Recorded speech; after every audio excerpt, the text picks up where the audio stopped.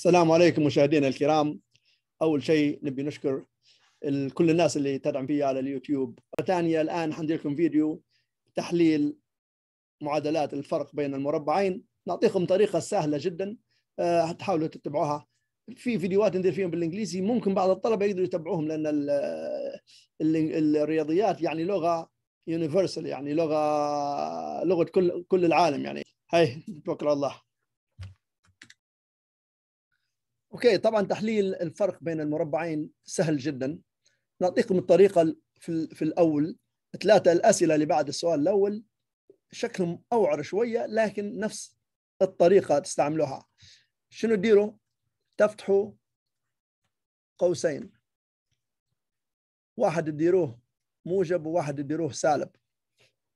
تاخذوا الجذر التربيعي متاع س تربيع. ولهذا جذر التربيعي متاع س تربيع عبارة عن جذر التربيعي التربيعي يكنسل أو ينحي التربيع. تكتبوه س هنا.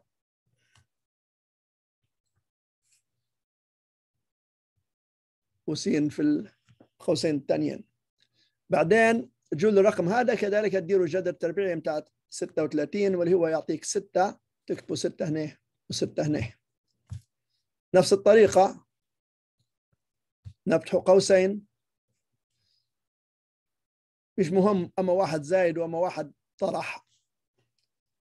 الآن شنو الجذر التربيعي بتاع 9 س تربيع؟ التسعة الجذر التربيعي بتاعها 3 والسين تربيع س نكتبوهم هنا وهنا. والجذر التربيعي متاع 49 صاد تربيع اللي هو 7 صاد.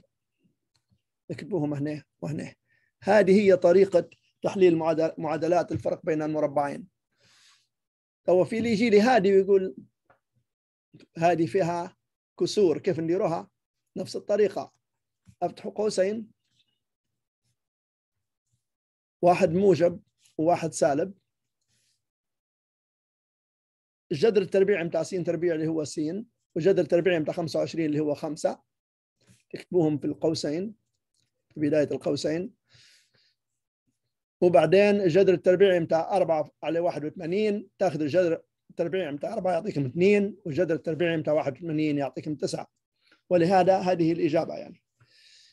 هذه شكلها غريب شوية مش زي همال المألوفات ولكن نفس الطريقة ممكن أنا بنبدأ بقوسين مربعين بدل من النوع الثاني. علاش؟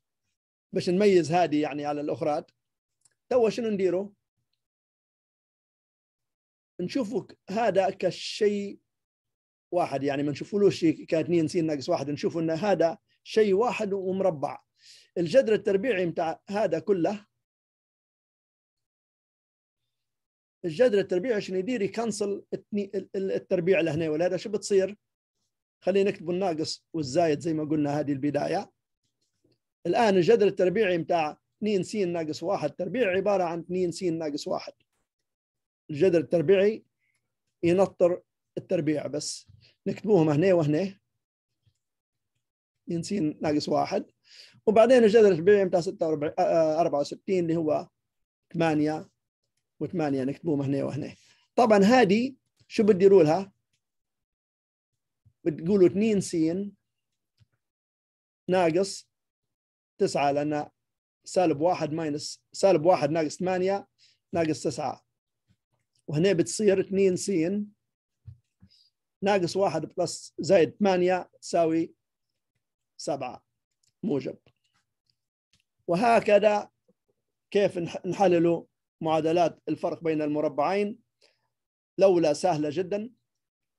بعض الطلبة يجدوا صعوبات في اللي درتهم الأخيرات أهمها خصوصا رقم أربعة. ولكن لو تتبعوا نفس الطريقة بتاع الجذر التربيعي حتلقوهم سهلات جدا.